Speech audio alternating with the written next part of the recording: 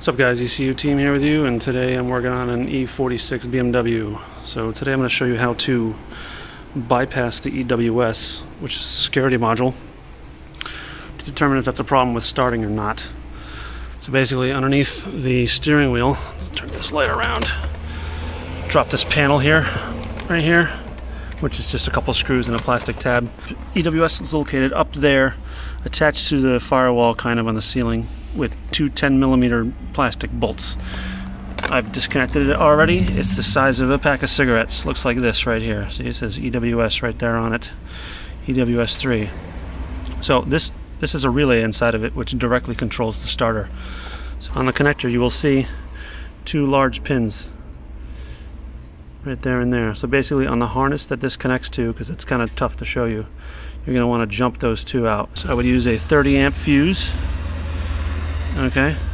And we're going to go ahead and connect that to the harness and crank it and you'll be able to tell whether your starter's bad or not. The harness. there's the harness right there. So let's go ahead and do that. Shave some of the blades of the fuse down a little bit in case it's too big to uh, fit inside the harness. So we're going to do that real quick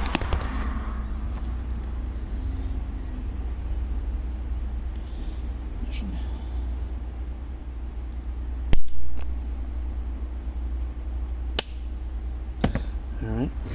All right, so we've connected the fuse there on the harness. We're gonna go ahead and crank the car and see if there's a problem with the starter or not. Okay, so with this fuse disconnected, we'll get no crank. So we know that we know that there'd be something wrong with the EWS otherwise. See? No crank. Oop no crank without the EWS connected. So just a quick tip there. Follow us for more quick tips, ECU team.